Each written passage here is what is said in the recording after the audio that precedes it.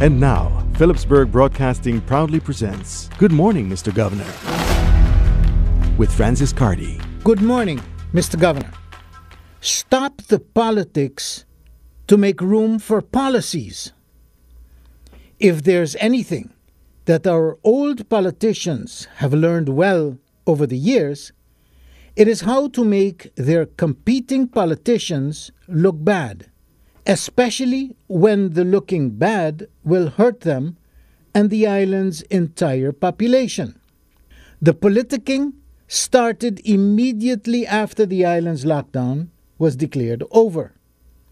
And to make it worse, Holland joined with its austerity measures by demanding that salaries of civil servants be lowered by 12.5% and from private employees by 20%.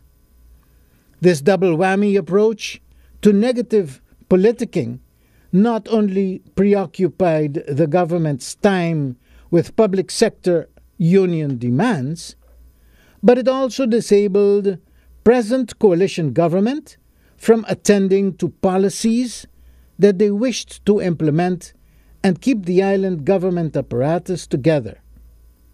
So to listen to the opposition UD faction in parliament lament about this government doesn't know what it's doing, it is almost hilarious, when in fact the entire confusion was orchestrated by the very opposition who is busy sabotaging the existing government.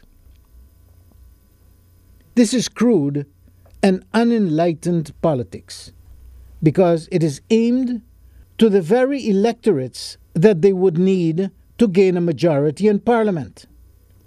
One of the weirdest facts about politics is today it's your turn and tomorrow it will be mine. Whatever gimmicks that are used to sabotage this government will eventually be used by others to sabotage your government whenever you are in government. Therefore, it pays to do what's good, work together, and stop playing games with our people's opportunities.